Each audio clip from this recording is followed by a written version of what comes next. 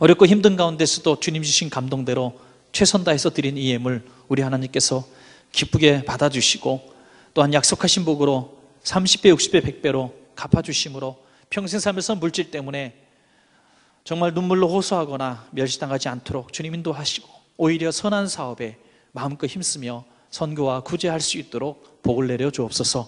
오늘 참으로 무능하고 부족한 종 섰습니다. 주님께서 잘하시오니 십자가 되어 오늘도 감춰 주시고 주님 말씀만 선포케 하심으로 우리 성령님께서 우리 성도님들에게 직접적으로 말씀하시는 은혜가 있게 하여 주옵소서. 예수님의 이름으로 간절히 소원하며 기도하옵나이다. 아멘. 어, 오늘은 영화 얘기 잠깐 먼저 하겠습니다. 요즘에 화제가 된 영화 가운데 국제시장이라는 영화가 있습니다. 그래서 때 아닌 부산 국제시장이 이렇게 또 관광 명소로 떠오르게 되었다고 하는데요. 어, 저도 그 영화를 보면서 어, 별로 저는 영화나 드라마 보면서 눈물 같은 거 흘려본 적이 없는데 눈물이 좀 이렇게 흐르더라고요 나이가 좀 드신 분들은 저는 젊으니까 그런데 나이가 드신 분들은 그 영화를 보시면서 아주 뭐 큰 소리 내서 우시는 분도 있고요. 그 정말 삶의 애환들이 이렇게 느껴졌던 것 같습니다. 그래서 참 감사하게 제가 수요일 날 이 얘기를 드렸더니 한 분이 헌신하셔가지고 우리 교회 59세 이상 되시는 어르신들 이렇게 영화 화요일 날 저녁에 볼 수 있도록 이렇게 표를 사주셨어요. 그래서 70석 예약을 했는데 지금 한 10석 정도 남았나요? 예, 한 10석 정도 남은 것 같으니까 빨리 신청하시기 바랍니다. 자격은 59세 이상. 예. 아, 영화 시작은요, 중공군의 개입으로 인해서 그 유엔군하고 국군하고 흥남 부두에서 철수하는 장면이 이제 시작이 되어지는데 영화 보신 분들은 대단히 죄송한데요. 못 보신 것처럼 고개 끄덕끄덕 어 그랬어 그래 이렇게 좀 동의해 주시기 바랍니다. 예, 어, 장단을 맞춰 주셔야 돼요. 어, 철수할 때 그 주인공인 덕수라는 사람이 있는데요. 이 덕수가 아주 어린 아이인데 자기 더 어린 아기를 이제 등에다 업고 여동생을 업고 이렇게 배에 올라타다가 애를 떨어뜨립니다. 근데 배는 막 떠나가기 직전이니까 아버지께서 그 아, 막, 막내를 어, 찾으러 내려가시면서 이 어린 아들에게 자기의 벗, 외투를 그 추운 겨울인데 외투가 얼마나 소중합니까? 외투를 벗어서 아이에게 입혀주면서 이렇게 얘기합니다. 내가 없으면 네가 이제 가장이다. 가장은 가족들을 돌봐야 돼. 하면서 가장의 옷을 딱 입혀주고 내려갔는데 영원한 이별이 되고 말죠. 이제 동생도 못 찾고 아버지도 못 찾고 천신만고 끝에 국제시장에 가서 이제 고모를 만나게 됩니다. 그곳에서 생선 괴짝을 만드는 일도 하고 구두 닦기를 하고 여러분 상상할 만한 그 모든 일들을 하는 것이죠. 이제 어린아이가 때 아닌 가장이 돼가지고 동생들을 먹여 살리는 일들을 하게 됩니다. 이제 남동생이 많이 커서 대학에 합격을 하는데 대학 등록금을 마련할 길이 없습니다. 그래서 고민하고 있던 차에 마침 시대적으로 독일에서 광부를 모집한다는 이야기 듣고 월급을 많이 준다니까 거기 독일로 가게 됐죠. 거기서 얼마나 고생을 하는지 독일 광부들과 또 간호사들이 고통당하는 이 정말 이 가난 때문에 그 멀리 가서 고생하는 우리 이 그때 시대의 모습을 잠시 영화는 비춰줍니다. 그리고 이제 비자 끝이 되어서 이제 한국으로 돌아옵니다. 돌아왔을 때 정말 자기가 하고 싶었던 일이 선장이 되는 꿈을 가지고 열심히 공부를 합니다. 그래서 해양대학에 합격 통지서를 받고 너무너무 기뻐서 춤을 추는데 하필이면 그때 철부지 같은 여동생이 시집을 가겠다고 돈 내놓으라고 합니다. 또 가게도 인수해야 되는 상황이 되고 그래서 이 대학 합격 통지서를 하늘에 날려버리고 이번에는 월남으로 갑니다. 월남으로 가서 그 총탄이 쏟아지는 곳에서 돈을 버는 이 모습도 잠깐 비춰주고요. 거기서 결국 총을 맞고 이제 다리를 저는 불구가 되어서 귀국을 하죠. 그 해 영화는 1983년 이산가족 상봉의 모습을 보여줍니다. 그곳에서 로스앤젤레스에 있는 막순이 그 잃어버렸던 여동생을 만나는 감격이 있게 됩니다. 영화를 보면서 한 번도 안 울었던 분들도 여기서 탁 이제 눈물이 터져서 이제 울게 되죠. 그리고 마지막 장면은 설 명절에 그 미국의 막내 동생 식구들과 포함해서 온 식구들이 손주 손녀들 가득 모인 방에서 명절을 지르는 치르는 모습이 나옵니다. 우리들의 일반적인 그런 지금의 모습이죠. 아이들이 춤을 추고 노래를 합니다. 아, 그런 모습 가운데 너무 행복한 한 가문의 모습을 비춰주다가 이 주인공 덕수는 조용히 노년이 된 덕수는 조용히 조용히 옆방으로 가게 됩니다. 가서 아버지의 영정 사진 앞에서 아버지께서 그 헤어질 때 자기에게 입혀줬던 그 옷을 꺼내 들고 부둥켜 안으며 엉엉 웁니다. 그리고 이렇게 얘기합니다. 아버지, 저 이 정도면 가장 노릇 잘한 거죠. 그리고 막순이도 찾았어요. 그런데 아버지, 너무 힘들었어요. 하면서 눈물을 흘립니다.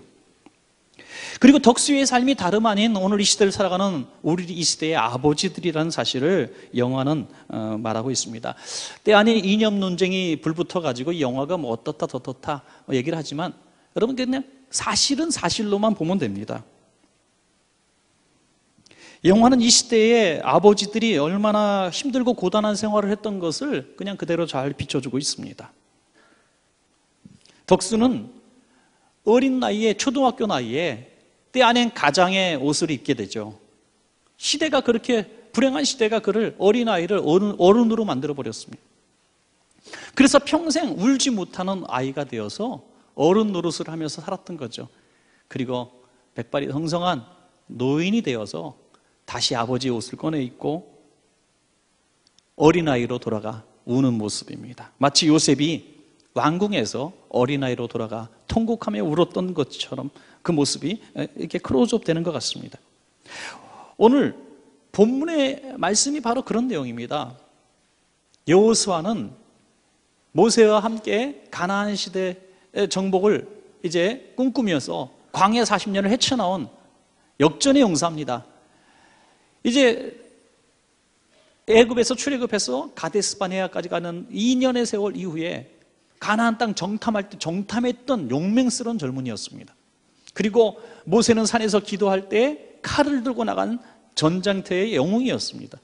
그가 40년 모세와 동행하다가 모세는 가나안 땅에 들어갈 수가 없게 됩니다. 모세가 자기의 지도자의 옷을 여호수아에게 입혀줍니다. 여호수아야, 이제부터 너가 이스라엘의 지도자야.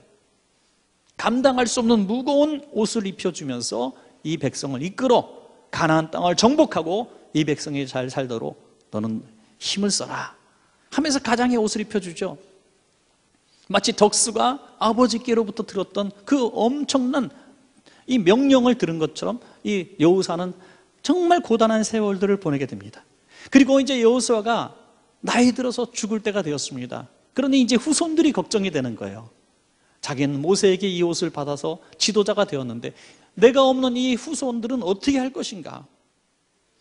우리들의 역사를 모르는 이 백성들, 애굽에서 우리 백성이 얼마나 고통을 당했던지, 또 광야 40년 가운데 얼마나 하나님의 은혜가 컸던지 그런 것들을 기억하는 사람들이 없어요. 지금 가나안 땅에서 우리가 짓지 않는 집에서 살며 성에서 살며 우리가 심지 않은 나무에서 나오는 실과를 먹으면서 마치 자기들이 잘해가지고 생긴 이 노력의 산물인 것처럼 여기는 이 젊은 세대를 향하여 이 모든 것이 하나님의 은혜였다는 것을 말해야 되는데 자기가 죽으면 역사를 아는 유일한 사람이 죽는 겁니다. 그래서 여호수아는 이 백성들을 불러 모아놓고 모든 백성, 특별히 지도자들까지 다 모아놓고 하나님만 잘 섬기겠다는 서약을 하게 하는 이 장면이 오늘 본문의 말씀입니다. 여러분, 우리도 만약에 우리가 하나님께서 우리를 부르시는 그 순간이 될 때에 우리를 잘하는, 아니, 우리의 후손들을 모아놓고 우리가 우리의 살아온 인생들 얼마나 내가 하나님의 은혜 가운데 살았던지 내가 하나님의 얼마나 큰 복을 받아서 오늘 이 자리까지 왔는지 고마, 고마우신 하나님을 간증하고 너희들도 이 아버지 어머니의 소원이니 하나님 잘 섬겨라라고 이렇게 유언할 수 있는 서약을 하게 할 수 있는 이런 믿음의 부모가 되어야 될 줄로 믿습니다. 어떤 사람은 마지막 임종 순간에 쑥 둘러보더니 너희들 다 왔구나. 예, 어머니 다 왔어요. 가게는 누가 보이노마? 한명 빨리 가서 가게 봐라 그러더니 임종 직전에 할 소리가 아니죠. 죽는 순간까지 먹고 사는 걱정. 또 어떤 사람은 끝까지 재산 안 놓고 있다가 임종하면서 자식들에게 가게는 네가 갖고 빌딩은 네가 갖고 해서 그 자리에서 형제자매가 치고받고 싸우는 걸 구경하면서 죽어요. 여러분 이 여호수아처럼 멋진 모습, 이 덕수 아버지처럼 멋있는 이런 가장의 옷을 물려줄 수 있는 믿음의 옷을 물려줄 수 있는 믿음의 부모 되시기를 바랍니다. 오늘 그 1월 달에 우리가 처음 이렇게 1월 시작하는 첫 주에 정말 이 첫 달에 우리가 여호수아 같은 이 믿음의 계승자가 되기를 소원하는 마음으로 이 여호수아의 유언의 내용을 한번 살펴보도록 하겠습니다. 첫째로 여호수아는 하나님의 은혜를 기억하라고 가르쳤습니다. 다른 신들을 섬겼던 조상 아브라함의 이야기를 합니다. 24장 2절에 옛적에 너희의 조상들 곧 아브라함의 아버지 나홀의 아버지 데라가 강 저쪽에 거주하며 다른 신들을 섬겼으나 우리가 믿음의 조상이라고 말하는 아브라함이 믿음 생활 잘해가지고 하나님이 부르신 것이 아니라 우상 섬기는 가문 가운데서 살다가 죽을 수밖에 없는 불쌍한 사람을 하나님이 찾아가셔서 은혜로 부르셨다는 것입니다. 오늘 여호서는 그 얘기를 하는 겁니다. 우리의 믿음의 조상부터, 우리의 가문부터, 우리 이 나라의 국주부터 다 하나님의 은혜 속에서 부르심을 받은 거지 우리가 잘해서 산 것이 아니라는 겁니다. 우리가 오늘 이렇게 잘 먹고 살 수 있고 또 편안한 나라에서 살 수 있는 거 정말 누구의 은혜가 아니라 하나님의 은혜인 것을 발견할 수 있는 사람은 복 있는 사람입니다, 여러분. 여러분 오늘 저와 여러분이 이 자리에 앉아 있는 것도 하나님의 은혜인 줄로 정말 믿습니다. 어떤 분이 엊그저께 그런 말씀을 하시더라고요. 병원에 가서 며칠 있어 보니까 정말 허리 피고 걷고 있는 것만 해도 너무 감사하다고. 병원에 가서 복도에서를 가만히 보십시오. 정상인처럼 걷는 사람도 없고 다 허리 구부리고 비틀비틀 부축받으며 걷습니다. 걸으면 다행이죠. 누워서 몇, 몇 개월 또는 수년 동안 일어나지도 못하는 분들이 있어요. 호흡조차 마음대로 못해서 호흡기 꽂아놓고 관으로 음식 드시는 분도 있어요. 이런 분들을 바라보면서 얼마나 그분들이 일어나서 내가 예배당 한 번 가는 게 소원입니다. 내가 산책 한 번 하는 게 소원입니다. 이런 분들 앞에서 우리가 이렇게 내 발로 걸어서 내가 내 몸을 내가 이렇게 어, 단장하면서 교회 나올 수 있는 거 하나님이 주신 축복인 줄로 믿습니다. 이것을 알라. 우리말로 그것을 알라고 말씀하십니다. 여호수아는 오늘 14절부터 이렇게 말씀하십니다. 그러므로 그러므로 그러므로 이제는 여호와를 경외하며 온전함과 진실함으로 그를 섬기라. 너희의 조상들이 강 저쪽과 애굽에서 섬기던 신들을 치워버리고 여호와만 섬기라. 참 이 부분을 보면서 답답한 마음이 듭니다. 이스라엘 백성이 광 애굽에서 구출되어서 광야를 지날 때에 하나님께서 만나와 매출하게 먹이시고 불과 구름기로 인도하시고 대적과 싸워 주셔서 가나안 땅에서 살게 하셨는데 이 백성들이 40여 년 전에 정말 이 가나안 땅에 들어오기 전에 40년 전에 섬겼던 애굽 백성이 믿었던 그 신들을 아직도 가지고 있었다는 겁니다. 애굽의 신들이 자기에게 해준 게 무엇이 뭐 있습니까? 속박하고 죽이고 고통받게 했던 신들입니다. 그 신들을 지금 하나님의 은혜 속에 살아가면서도 지금도 버리지 못하고 있었다는 거예요. 여러분 얼마나 참 답답한 이야기입니까, 여러분? 이러한 하나님의 은혜, 오늘 우리를 인도하시고 살리시고 먹이시는 하나님의 은혜, 정말 우리는 잊어서는 안 되겠습니다. 여러분 가만히 한번 뒤돌아보시면 구원의 은혜, 그, 그보다 큰 은혜가 또 어디 있겠으며 광야 같은 세상 지나올 때 하나님이 함께 하신 그 은혜들을 우리가 잊을 수가 없는 것입니다. 저는 이렇게 너무 힘들어하는 성도님들을 가끔 만나고 정말 보통 성도님이 겪을 수 없는 좀 특별한 고통, 특별한 아픔들을 겪은 그런 경우들을 어, 종종 봅니다. 가서 정말 이 한계를 느껴요. 아무리 위로해도, 아무리 격려해도 이 문제를 어떻게 해결할 수 없어요.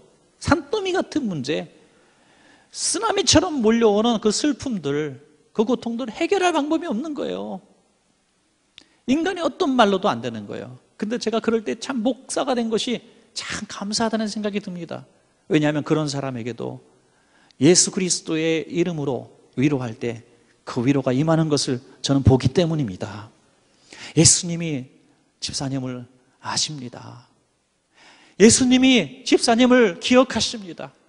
집사님이 무슨 말씀하지 않으셔도 주님은 다 보셨고 주님의 다 신음소리 들으셨습니다. 이렇게 말하면 더 이상 큰 위로가 없던 것을 보게 되는 것입니다. 그 좋으신 주님을 우리가 어찌 잊을, 잊을 수가 있겠습니까? 여호수아 14장에 보면 내가 내가라는 말씀이 무려 18번이나 나옵니다. 내가 내가 누구냐? 나 하나님이 너희를 그 속박의 애굽 땅에서 구속하여 주셨고 그리고 그 광야 가운데서 내가 인도하였고 내가 만나와 매출하기로 너희를 입혔고 먹였고 그 헤어지지 않도록 했고 또 대적들을 내가 대신 싸워서 이기게 하셨고 내가 홍해를 갈랐으며 내가 가나안 땅을 너에게 주지 않았느냐 이렇게 말씀하고 있는 것입니다. 여러분 이 은혜를 간직하는 것이 2015년도 정말 이 여호수아가 백성들에게 주었던 서약식이 우리들에게 서약식이 될 줄로 믿습니다. 이게 복받는 비결이죠. 저는 은혜가 뭔가, 은혜를 아는 사람이 뭔가 쉽게 이렇게 한번 정의해 보았습니다. 은혜를 아는 사람은 은혜를 갚으며 사는 사람이다. 은혜를 안다고 은혜를 내가 믿는다고 하면서 은혜 갚지 않는 사람은 은혜를 아는 사람이 아닙니다.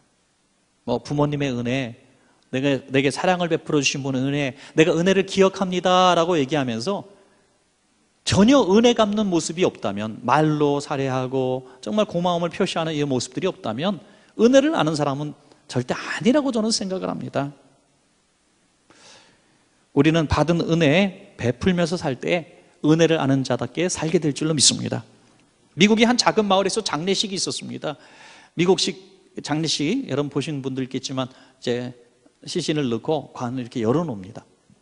누군지 볼 수 있도록 잘 단장해 놓죠. 목사님은 여느 장례식처럼 이렇게 좀 이분을 치켜 세우잖아요. 그죠? 이분이 얼마나 이 마을에서 훌륭한 분이고 교회에서 중요한 인물이었고 집에서는 얼마나 자상한 아버지였으며 아내에게 좋은 남편이었는지 마치 본 것처럼 이렇게 참 아름답게 미화를 했습니다. 다 장례식 때 그렇게 하잖아요. 그런데 그때 미망인께서 도무지 못 듣겠다는 표정을 고개를 슬라슬레 흔드는 너무 심해 저건 아니지 그러면서 그러면서 딸에게 드디어 입을 엽니다 얘야 아무래도 네 아빠 얘기하는 것 같지 않다 네가 가서 확인 좀 하고 오너라 여러분 세상에 살 때에는 그 앞에서 누구든지 얘기하지 않지만 호흡이 멈추는 날에 우리에 대한 평가가 진짜 평가가 되는 것입니다. 다비다가 선행을 베풀고 그가 죽었을 때 수많은 과부들이 와서 다비다의 몸을 붙들고 사도에게 살려달라고 통곡하며 기도하지 않습니까? 여러분, 우리가 할 수 있을 때 사랑을 표하고 은혜를 베푸십시오. 부부가 서로 고마워하면 그 가정이 행복해지고 사장님은 직원들에 대해서 고마움을 표시하고 직원들은 사장님에 대해서 고맙다고 얘기할 때 그 회사는 행복할 수가 있습니다. 그 원동력이 뭐냐? 내가 은혜를 받았다는 것을 인정할 때에 이렇게 아름다움이 이루어지는 것입니다. 가장 불효자가 누굽니까? 부모에게 아버지가 나한테 해준 게 뭐가 있느냐? 엄마가 나한테 해준 게 뭐가 있느냐? 요렇게 얘기하는 사람, 이건 요렇게가 아니라 요따위로 얘기하는 사람이 제일 불효자입니다. 해준 게 뭐가 있느냐? 생명을 주었고, 그 피부치를 닦아서 길러줬는데, 핸드폰 안 바꿔준다고, 유학 못 보내준다고, 해준 게 뭐가 있냐 그래요. 은혜를 은혜로 모르니, 은혜를 갚을 꿈도 못 꾸는 것이죠. 사도 바울이 엄청난 일을 합니다. 엄청난 주님을 위해서 헌신을 합니다. 그러나 사도 바울이 이렇게 할 수 있는 원동력이 무엇인가? 하나님의 은혜였다고 고백합니다. 고린도도서 15장 10절에 그러나 내가 나 된 것은 하나님의 은혜로 된 것이니 내게 주신 그의 은혜가 헛되지 아니하여 내가 모든 사도보다 더 많이 수고하였으나 내가 한 것이 아니요 오직 나와 함께 하신 하나님의 은혜로다. 할렐루야. 오늘 한번 이렇게 한번 고백합시다. 지금까지 나의 나 된 것은 하나님의 은혜입니다. 할렐루야. 하나님께서 지금 들으시고 기뻐하실 줄로 믿습니다. 이게 은혜를 아는 자의 고백입니다. 여호사가 많은 거 요청하는 게 아니에요. 알라. 이 은혜를 잊지 말라. 이 은혜를 내가 다 보고 나는 경험했지만 너희들은 경험하지 못한 세대야. 내가 죽으면 이걸 누군가 증거해야 되는데 이걸 좀 제발 좀 알아라. 하나님의 은혜를 기억하라는 것입니다. 두 번째로 너희가 섬길 자를 오늘 택하라. 선택의 기회를 줍니다. 여호수아는 백성들이 하나님의 은혜로 살았지만 은혜 갚지 못하면 삶을 살까 봐 잊을까 봐 걱정했습니다. 그래서 이 노구의 몸을 이끌고 와서 지금 확실하게 결정하라. 뜨뜻미지근하게 하지 말고 확실하게 하라. 하나님을 섬길 건지 이 세상을 섬길 건지 마귀를 섬길 건지 확실히 결정하라는 것입니다. 여호수아 24장 15절에 만일 여호와를 섬기는 것이 너에게 좋지 않게 보이거든 너희 조상들이 강 저쪽에서 섬기던 신들이든지 또는 너희가 거주하는 땅에 있는 아모리 족속의 신들이든지 너희가 섬길 자를 오늘 택하라 오늘 당장 택하래요 오직 나와 내 집은 여호와를 섬기겠노라 예. 2부 예배 때 내가 김수겸 목사님을 얘기를 했는데 김수겸 목사님 3부 예배 또 앉으셨네요 김수겸 목사님하고 저희가 이제 제가 모처럼 이제 밥을 먹자고 제가 김수겸 목사님을 이제 부릅니다. 목사님, 내가 모처럼 밥 살게요 하고 이 연희동에서 제일 좋은 중국 식당을 탁 데려갑니다. 김수겸 목사님은 오만 가지 생각을 하겠죠. 야, 오늘 좀 제대로 먹겠구나. 그런데 이렇게 얘기합니다. 목사님 드시고 싶은 거 마음껏 드세요. 저는 근데 짜장면이 땡기네요. 그러면 김수겸 목사님이 목사님 짜장면 드세요. 전 탕수육 먹을게요. 그렇겠습니까? 예, 그러면 저랑 영 보기가 앞으로 힘들어지겠죠. 여호수아가요 정말 지혜로운 사람입니다. 오늘 여호수아 이 문장을 보면 얼마나 지도력 있는 사람인가 보여줍니다. 너희는 지금 결정하라. 저 강건도편에서 섬기던 그 우상이든지 어떤 가나안 토착 신이든지 너희가 마음대로 골라. 너네가 섬기고 싶은 신을 섬겨. 그런데 너희는 그렇게 섬길지 모르지만 나하고 내 집안은 하나님만 섬길 거야. 그럴 때 백성들이 여호수아님은 하나님 섬기세요. 우리는 이방신을 섬길게요. 그럴 사람이 거기에 나타나면은 이 공동체에서 살아갈 수가 없겠죠. 여호수아는 살아 있을 때의 지도력입니다. 여호수아가 죽으면은 이런 지도력을 발휘할 사람이 후계자 중에 아무도 없었고 실제로 여호수아 사는 날과 이 서약한 백성이 사는 날까지만 하나님을 잘 섬깁니다. 그 이후에 암흑 시대로 들어가고 사사 시대를 경험하게 되잖아요. 이 정말 400여 년의 암흑 시대를 경험하게 됩니다, 여러분. 그래서 지도자가 얼마나 중요한지 알 수가 없습니다. 사무엘 한 사람이 사는 날 동안에 이방들이 침략할 수가 없었다고 해요. 여러분, 여호수아는 오늘 이것을 결정하라. 결정하라. 사랑하시는 원천 가족 여러분, 예수 믿기로 결심하셨고 2015년도 지금 시작을 했으니까 선택을 딱 오늘부터 하는 겁니다. 나는 세상을 섬기느냐 하나님을 섬기느냐 하는 이런 선택의 순간이 왔을 때 무조건 나는 하나님을 섬기리라. 이렇게 한번 선택하고 시작합시다, 여러분.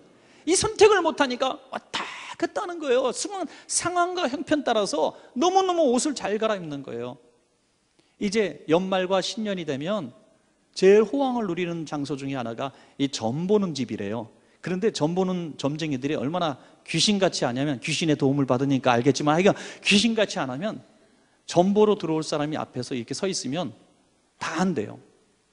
한 번은 이렇게 점보로 들어가는 사람들이 앞에 점집 앞에 왔다 갔다 들어갈까 말까 왔다 갔다 하는 사람이 있으면요. 집사님 들어오세요 하면 들어온대요.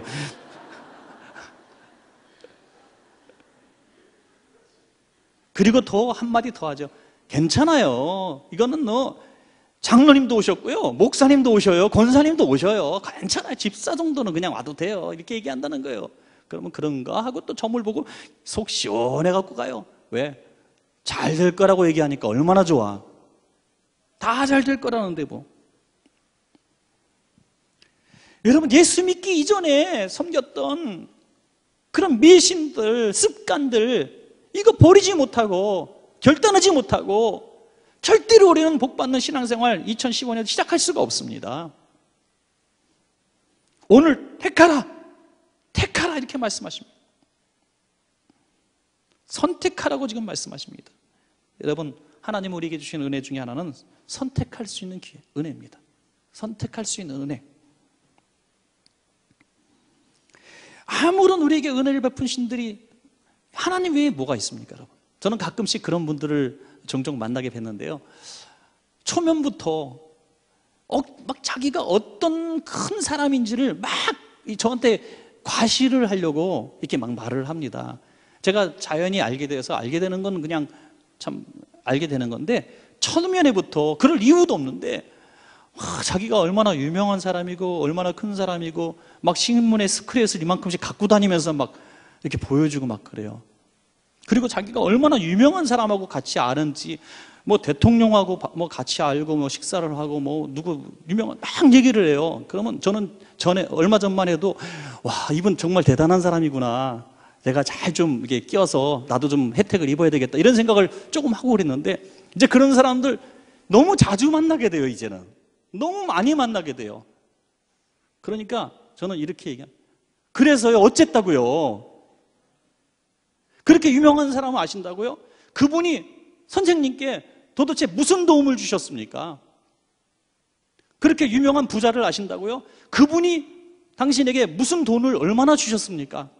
직장이라도 주셨습니까?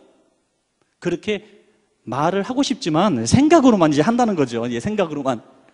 속에서만 부글부글 끓어요. 다 들어주려면 너무 짜증나 죽겠어. 여러분, 우리가 알고 있는 수많은 유명한 사람, 부자들, 우리 주변에서 유명한 사람들 알고 있지만 여러분 힘들 때, 여러분 정말 절박할 때, 영 피맺힌 한이 있을 때, 애 학비 없어서 벌벌 떨 때, 그분들이 뭘 도와줬습니까? 우리가 그렇게 좋아하는 연예인들 보면 환호성 지르는 연예인들이 여러분에게 뭘 해줬습니까? 오직 우리를 부르시고 우리를 위해서 대신 죽으시고 지금 성령으로 우리 함께 하시고 우리의 신음소리를 들으시고 우리의 희망이 되시는 분은 하나님밖에 없습니다. 그 하나님을 우리가 선택해야 되는 것입니다. 여호수아는 이것을 지금 얘기하고 있는 거예요. 얘들아, 내 후손들아, 내 사랑하는 내 백성들아, 하나님밖에 없다. 하나님밖에 없다. 사람 의지하지 말고 물질 의지하지 말고 권력 의지하지 말라. 거기 바람에 나는 정말 쪽배 같은 거니까 거기 왔다 갔다 하지 말고 늘 함께 하시는 책임지시는 하나님만 섬겨라는 거예요. 여러분 우리가 우리 자손들에게 그렇게 영향력 있게 하나님이 어떤 분인가 말하고 하나님만 섬기라고 말할 수 있는 그 순간 그렇게 길지 않습니다. 이제 아이들한테 손 벌릴 때가 돼서 애들이 가자면 가고 오라면 올 때가 되면 아이들에게 신앙 줄 수 없어요. 어머니나 잘 믿으세요. 그런다니까요. 어머니나 잘 믿으세요. 예. 그냥 왔다 갔다 하면서 자식이 열이라도 몸 하나 둘 데 없어가지고 여기저기 왔다 갔다 하게 되면서도 할 말이 없어요. 아무리 효도해라, 효도해라 가르쳐도 안 되는 거예요. 어릴 때 신앙 주문요 아이들이 효도하는 아이로 자라게 되는 거예요. 네, 효도하는 아이로. 어떤 아주머니가 논논의 아, 어머니가 정말 돌집이 없어가지고 한 집에 오늘 가서 며칠 머물게 되는데 아유 딸이 1년 만에 처음 그 집에 찾아와가지고 어머니 형님은 어디 갔대요? 어머니 어떻게 찬밥을 남겨두고 밥도 안 해주고 갔대 하면서 내가 따뜻한 밥 해줄게요. 막 난장판에서 따뜻한 밥을 탁 해주는 거예요. 그러니까 어머니가 보따리를 막 싸시는 거야. 왜 보따리 싸세요, 어머니? 나 따뜻한, 따뜻한, 밥, 해, 따뜻한 밥 해 주는 네 집에 갈라 살련다. 그랬대요. 그랬더니 바로 찬밥을 다시 꺼내오더라는 거죠.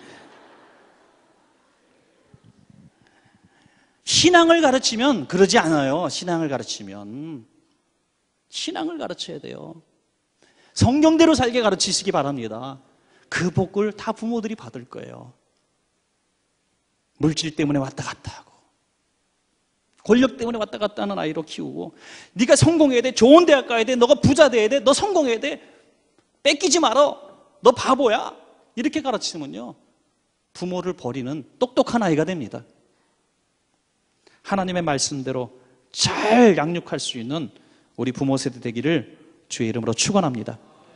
맨 마지막은 하나님을 섬기는 삶의 증거를 보이라. 여호수아는 참 대단한 분인 것 같아요. 과거 이야기를 쭉 다 해서 하나님의 은혜에 대해서 상기를 시키더니 지금 당장 결정하래요. 하나님 섬길 거냐 아니냐 이쪽 편 저쪽 편 가라는 거예요. 지금 금거 놓고 니네 편할 절로 가고 하나님 섬길 사람 일로 오라는 겁니다. 확실한 리더입니다. 결단력 있는 리더입니다. 성공하는 사람은 판단력이 있어야 돼요. 판단력. 판단력. 세상에서도 판단을 빨리 해야 돼요. 미적미적거리면 항상 기회를 놓칩니다. 신앙에도 바른 판단력이 있습니다. 이 삶의 판단력까지 갖게 한 여우수아는 이제는 하나 더 나아갑니다. 결론적으로. 증거를 보이라는 겁니다. 증거를. 그래 좋다. 네가 은혜도 알고 하나님 섬긴다고 했으니 그 증거를 보여라. 증거를 보여라. 14절 후반에 너희의 열조가 강 저편과 애굽에서 섬기던 신들을 제하여 버리고 여호와만 섬기라. 이제는 애굽의 신들 집에 있는 그 모든 흔적들, 부적들 이런 거 싹 갖다 버리라는 겁니다, 여러분. 할렐루야.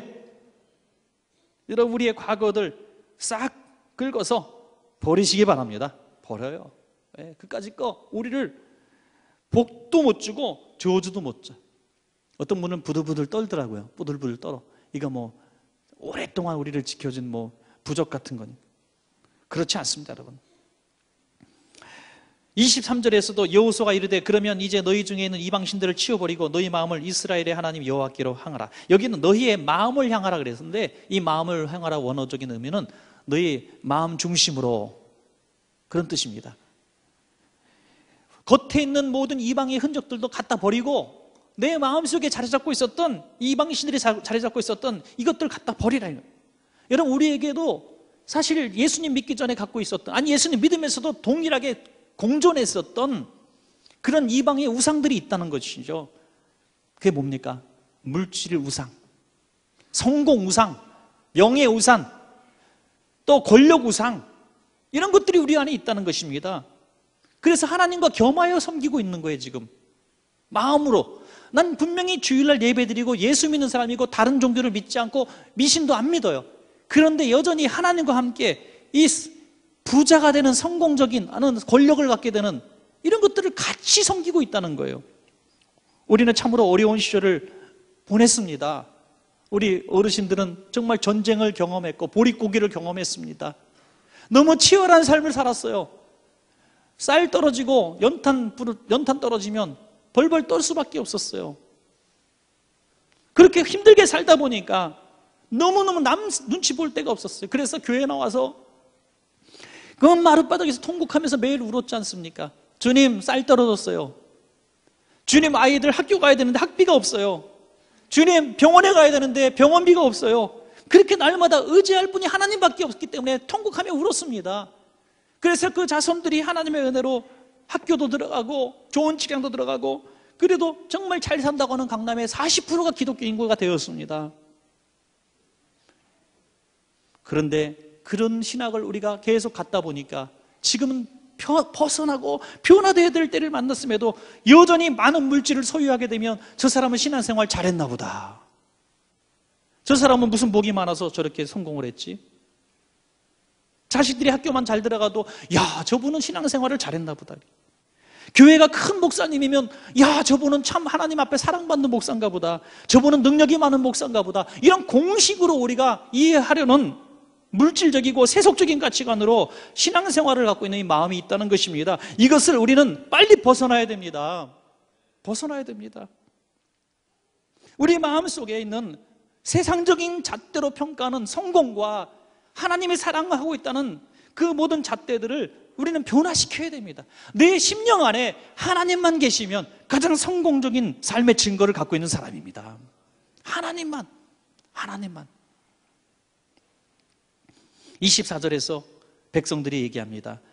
백성이 여호수아에게 말하되 우리 하나님 여호와를 우리가 섬기고 그의 목소리를 우리가 청종하리이다 하는지라 결심합니다. 그럴 때 여호수아는 이 순간을 놓치지 않습니다. 이 결심이 나중에 흐려질 것을 염려합니다. 그래서 빨리 글로 쓰게 합니다. 율법으로 딱 쓰게 하고 그것을 큰 돌을 취해 가지고 성소 옆에 있는 상수리 나무에 딱 세워 놓고 이렇게 얘기합니다. 우리가 하는 말을 이 돌이 들었다. 너희는 하나님을 다시는 부인하지 못하도록 이 돌이 증거, 증인이 되리라. 그런 거예요. 참, 여호수아는 정말 이 백성을 사랑하는 사람입니다. 내가 죽고 난 다음에 너희들이 마음이 변하면 어떡하냐 이거예요. 그래서 돌을 세워놓고 이 돌이 증거야. 그리고 쓴 거, 이 쓴 게 증이야. 여러분, 이 사람은 조속으로 변합니다. 조속으로 변하는데 글은 변하지 않아요. 그래서 천 원 이상 빌려주시면 꼭 글을 쓰셔서 차용증을 작성하시기 바랍니다. 예. 그리고 언제 갚겠다 이것도 꼭 쓰시기 바랍니다. 오늘 별거 다 가르쳐 주는데 야, 그 법적으로 고통당하는 사람들이 있더라고요. 할 때는 그냥 고개 숙이고 내가 최선을 다하겠습니다. 잘하겠습니다. 막 하고요. 딱 값을 바뀌면요. 순간적으로 사람이 다른 사람이 되는 거예요. 다른 사람. 지금 목사님 한 분이 건축 때문에 제가 잘 목사님이 너무너무 고생을 하고 있어요. 건축 시작할 때는요. 그 건축회사 사장님이 제 평생의 마지막 업적으로 하나님께 다 드리겠습니다. 이래가지고 감동을 시켜가지고 수술을 땄는데 지금 조금 기분 나쁘게 한다고 공사 현장 문 닫아놓고 일을 안 하고 있대. 기분 나빠서 일 안 한다 그러더래. 이게 뭔 말입니까 도대체 이게. 하나님의 영광을 위해서 교회를 짓는데 써줘서 고맙다고 그러더니 예? 돈더 달라고 때를 쓰기 시작합니다. 그 사람 믿지 말고 종이를 믿으세요. 종이를. 그리고 종이보다 하나님을 의지하시기 바랍니다. 그래서 여호수아는 글로 쓰게 만든 거예요. 20절에서 여호사는 걱정하는 말을 합니다. 너희에게 복을 내리신 후에라도 돌이켜 너희에게 재앙을 내리시고 너희를 멸하시리라. 내가 죽은 후에 너희가 이 명령을 어기고 결심을 어기고 다시 이방신들을 섬기게 될 때 하나님이 주셨던 복을 취하시고 다시 심판할 거다. 여러분 하나님 앞에 이 실천적인 선언문이 될 때 실천적인 선언문이 될 때 우리가 복을 유지할 수가 있는 것입니다. 우리 하나님 잘 섬기고 우리 가정도 하나님의 영광을 위하고 내가 만든 기업도 하나님의 영광을 위해서 만들었다고 얘기합니다. 그러면 선언문을 쓰십시오, 여러분. 선언문. 선언문, 결심서를 한번 써보세요. 막연하게 말고요. 어떤 성도님은 하나님, 내가 하나님께 이렇게 영광 돌리기 위해서 기업을 하겠습니다. 하고 기업을 시작했습니다. 축복했습니다. 그런데 정말 어려운 환경을 다 극복하고 회사가 커가기 시작합니다. 점점 회사가 큽니다. 정말 저는 기쁩니다. 야, 저분이 큰일을 하겠구나. 하나님의 기업이라고 선포하고 정말 하나님께 날마다 기도하고 정말 우리 성도들이 그 축복을 하며 같이 신방하며 기도했으니 저분이 정말 하나님 영광을 위해서 크게 하겠구나. 그런데 회사가 두 개가 되고 열 개가 되고 스무 개가 되고 세상에 알만한 기업이 된다 할지라도 하나님 영광 위해서 하나도 쓰는 거 없고 자기 소득의 11조도 내지 않아요. 그러다가 어느 날 회사가 망하게 됩니다. 그러면 저한테 찾아와서 이렇게 얘기하더라고요. 목사님, 왜 하나님의 기업을 망하게 하십니까? 하나님이. 그럼 저는 하나님을 위해서 당신이 한 것이 무엇이 있습니까? 라고 말을 하려다가도 역시 마음이 약해서 그렇게 말은 못하고 실천하지 않고 무슨 우리가 하나님의 사람입니까? 여러분 111 운동 이 얘기 하려고 제가 이렇게 길게 얘기하는 거예요. 111 운동 종입니다. 서약서입니다. 이 쪽지 하나 별거 아니라고 생각하지 마십시오. 내가 정말 예배하는 성도, 예배하는 교회가 되기를 원한다면, 예배가 최고라고 우리가 믿는다면, 예배 한 번 더 드리십시오. 일주일에 두 번 한 번 예배 드리는 거예요. 예배 한 번 더 드리는 겁니다. 저녁 예배 나오시고, 수요 예배 나오시고, 어, 정말 할 수 없으면은 뭐 심야 기도, 뭐 새벽 예배라도 채워서 100번 이상 한번 만들어 보시기 바랍니다. 또 기도, 한 달에 한 번 기도실에 올라가서 기도하는 겁니다. 왜? 내가 하나님을 섬긴다고 하고 뭐 내가 하나님의 영광을 위해서 살겠다고 내가 하나님의 은혜를 아는 사람이라고 한다는데 증거를 좀 보여야 될 거 아닙니까? 증거를. 전도 한 명도 못하고 신앙생활 10년 했으면서 내가 하나님 살아계심을 그렇게 자랑하면서 한 명도 교회로 인도하지 못했다면 이것도 거짓 아닙니까 여러분? 예? 거짓 아닙니까? 물건 하나 팔려고 수모를 들어가면서 10번 20번 만나면서 기분 나빠서 전도 못하겠다고 하고 여러분 삶의 증거를 보이라 이거예요 삶의 증거 여러분 그것이 이 선언입니다 우리가 112 운동 실천할 때 우리는 누가 뭐라 그러지 않아도 여호수아의 이 정말 염려를 다 우리가 어, 정말 걱정하지 않도록 되어드리는 제대로 된 삶을 살게 될 줄로 그렇게 믿습니다. 교회와 가정 다 사명 선언문을 한번 만들어 보세요. 한번 결심을 미리 해보시고 선포해 보는 거예요. 그날이 왔을 때는 안 되더라고요. 그날이 왔을 때는 안 돼요. 저희도 우리 집사람하고 그날이 왔을 때 안 될 것 같아서 미리 얘기하는 거예요. 우리 자녀들 결혼해서 축의금 만들어지면 그거 뭐 하다가 축의금 뭐 하다가 해외 교회 짓겠습니다. 이렇게 부부하고 선언했어요. 근데 오늘 공개했잖아요. 저는 안 그러면 이제 여기서 목회 못하지 이제. 그죠? 그러니까 축의금 많이 내시기 바랍니다. 이게 무슨 얘기냐면 미리 써놓으라 이거예요. 그리고 선포하라 이거예요. 하나님 내가 큰 기업이 되면 내가 1% 하나님 성교비로 쓰겠습니다. 미리 선언하란 말이에요. 하나님 내 자녀가 좋은 취향 들어가면 하나님 영광 위해서 일할 수 있도록 이렇게 이렇게 교육하겠습니다. 선언하라는 얘기입니다. 그럴 때 우리는 실천하는 그리스도인이 될 수가 있고 하나님이 주셨던 복들을 걷어가지 않는 유지되는 축복의 주인공들이 될 수가 있고 우리 자녀들이 잘 될 수가 있습니다. 말씀을 맺겠습니다. 여호사는 임종 직전에 걱정한 것은 후손들이었습니다. 여러분 후손들 우리가 걱정해야 됩니다.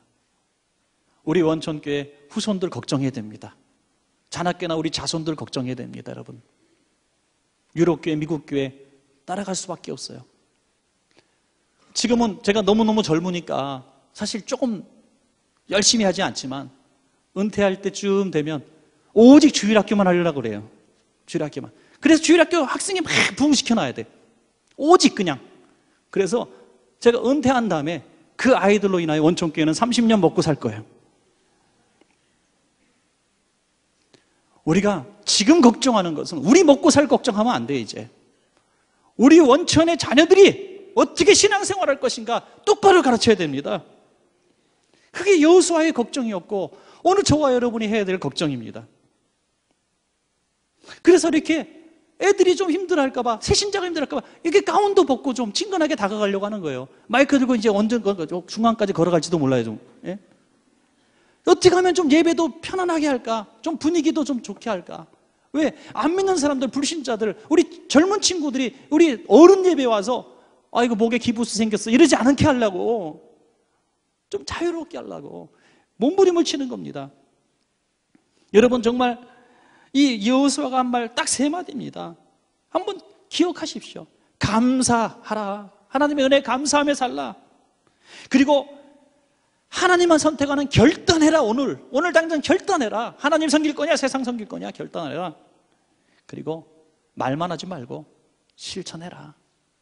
작은 것이라도 실천해라. 세상에 제일 무섭지 않은 사람이 말만 하는 사람이에요. 행동하는 사람이 힘 있는 그리스도인입니다. 실천합시다.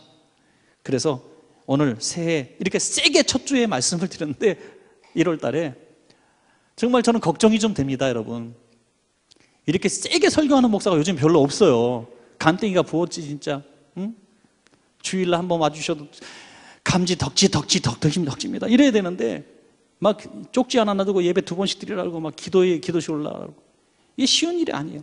그래서 정말 원천께서 신앙생활하기 힘들겠다 금년에 그러면 다른 교회 가시면 제가 끝까지 쫓아가서 다시 데리고 올 겁니다. 하여튼 제대로 한번 신앙생활 해봅시다 여러분. 우리 복 받아야 되지 않겠습니까? 우리 손들이 잘 돼야 되지 않겠습니까? 하나님 기뻐하시는 신앙생활 감사와 결단과 실천 있기를 주의 이름으로 간절히 축원합니다. 하나님 성으로 기도하겠습니다. 하나님 이렇게 살게 하여 주옵소서. 하나님 성으로 결심하며 기도합니다. 은혜와 자비가 풍성하신 아버지 하나님 감사합니다. 오늘 우리에게 오늘 여호수아의 유언의 메시지를 우리에게 주시니 감사합니다. 오늘 여호수아가 백성들을 모아놓고 했던 이야기가 오늘 우리에게 주시는 말씀이라고 믿습니다. 하나님 아버지, 우리는 너무나 형식적인 그리스도인이 가득한 세상에서 살아가고 있습니다. 하나님의 그 큰 은혜 속에서 이 나라가 이렇게 건재하게 되었고 자유를 얻었으며 이렇게 한국의 교회들이 부흥하며 세계 선교사들을 파송하는 교회가 되었음에도 불구하고 우리가 잘해서 우리가 열심히 해서 된 것처럼 자랑하고 교만하게 짝이 없습니다. 하나님의 다 은혜입니다. 우리를 살리신 것도 이 나라를 구원한 것도 우리가 오늘 이처럼 예배하는 것도 우리가 먹고 살 수 있는 집이 있는 것도 다 하나님의 은혜입니다. 그 은혜를 기억하며 감사하며 살게 하여 주옵소서. 오늘 우리가 이제 결단하며 2015년도 시작하려고 합니다. 이제 모든 이방신들, 우상들, 내 마음속에 있는 하나님을 겸하여 섬길 수 없는 것들을 이제 예수 이름으로 다 추방하기를 원합니다. 오직 예수님밖에 보이지 않게 하여 주옵소서. 주님만 선택하게 하여 주옵소서. 그리고 하나님, 이제는 관념적인 신앙생활 아니라 손끝으로 실천할 수 있는 우리의 신앙이 있게 하여 주옵소서. 행동하는 그리스도인 되게 하여 주옵소서. 사명 선언서를 써놓고 거기에 맞춰서 살아갈 수 있도록 우리에게 역사하여 주시옵소서. 살아계신 하나님 의지합니다. 우리와 우리 후손들에게 복을 주셔서 평생 하나님을 떠나지 말게 하시고 하나님과 동행하는 삶 살게 하여 주옵소서. 영광 받으실 예수님 이름으로 기도합니다. 아멘. 좋으신 하나님 감사합니다. 2015년도 여전히 불안하고 여전히 힘듭니다. 너무나 고달픕니다. 하지만 하나님 여호수아가 간절한 마음으로 누구의 몸을 이끌고 후손들을 생각했던 것처럼 우리는 오늘 이 시간에 우리와 우리 후손들을 생각합니다. 우리 자녀들을 생각합니다. 하나님 하나님을 섬기는 것이 축복의 지름길이고 또 하나님만 바라보는 것이 그 은혜를 아는 것이 복받는 비결인 것을 우리는 압니다. 그러나 우리 자신조차 이방의 신들을 마음속에 품고 이중적 그리스도인의 생활을 해왔습니다. 하나님 오늘 여호수아의 외침을 듣고 우리가 다 결단합니다. 이제 분명히 주님만 선택하기를 원합니다. 주님만 바라보기를 원합니다. 그리고 손끝으로 우리 자녀들에게 그리스도인다운 삶을 살도록 우리가 영향력 있을 때, 힘 있을 때 잘 가르쳐서 우리 자손들이 주님이 주시는 복을 받아 누리며 사는 그것을 우리가 보게 하여 주옵소서. 우리 원천의 자녀들을 축복하여 주옵소서. 예수님 이름으로 축복하며 간절히 기도드리옵나이다. 아멘. 우리 다 같이 자리에서 일어나시겠습니다. 우리 좌우편에 계신 분에게 이렇게 축복합니다. 믿음의 목소리로 신앙의 명문가 되실 줄로 믿습니다. 할렐루야. 여러분 모두 신앙의 명문가 이루시기를 주 이름으로 축원합니다. 우리 다 같이 손 드시고 우리 하나님 앞에 찬양합니다. 모든 영광과 존귀와 능력 받으소서.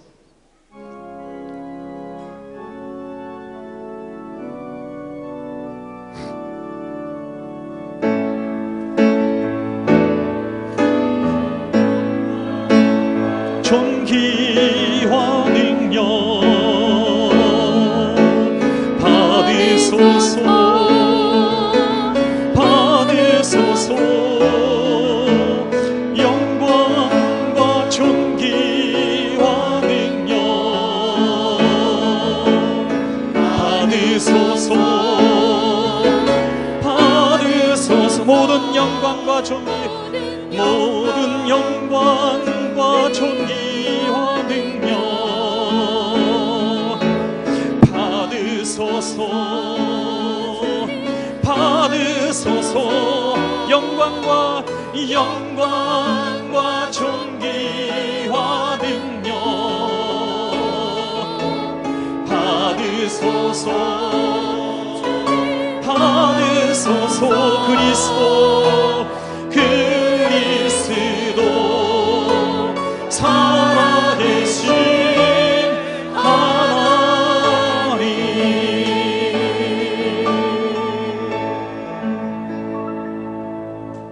이제는 우리 주 예수 그리스도의 크신 은혜와 우리 아버지 하나님의 무한하신 사랑하심과 보혜사 성령님의 교통 대제의 충만하심의 역사가 이제 오직 은혜로 오직 감사하며 믿음으로 살아가기로 결심하시는 하나님의 신실한 백성 10년과 우리 성도님들의 자손들 위해 지금부터 영원토록 함께 하시옵기를 간절히 축원하옵나이다.